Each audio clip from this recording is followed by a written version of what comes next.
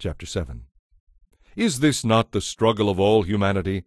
A person's life is long and hard, like that of a hired hand, like a worker who longs for the day to end, like a servant waiting to be paid.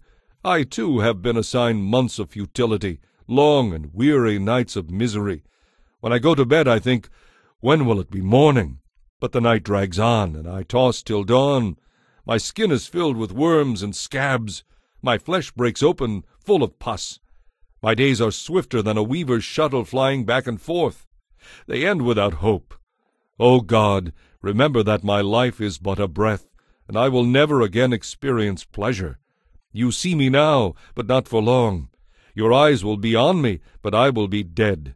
Just as a cloud dissipates and vanishes, those who die will not come back.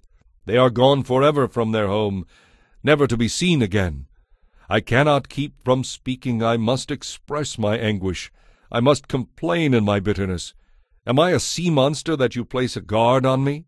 If I think my bed will comfort me, and I will try to forget my misery with sleep, you shatter me with dreams. You terrify me with visions. I would rather die of strangulation than go on and on like this. I hate my life. I do not want to go on living. Oh, leave me alone for these few remaining days. What are mere mortals that you should make so much of us? For you examine us every morning and test us every moment. Why won't you leave me alone, even for a moment? Have I sinned? What have I done to you, O watcher of all humanity? Why have you made me your target?